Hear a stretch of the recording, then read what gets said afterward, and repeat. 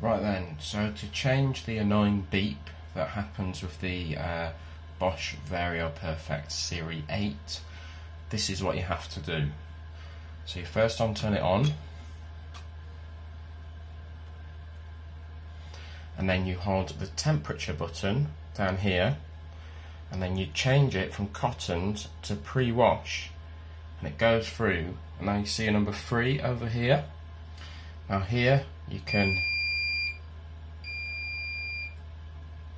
and it's silent.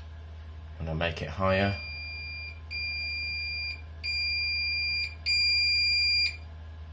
And then it goes back to zero again. And then you just turn it off. And just to protect that that's changed. So once again, temperature while holding that and it's back to zero nice and easy.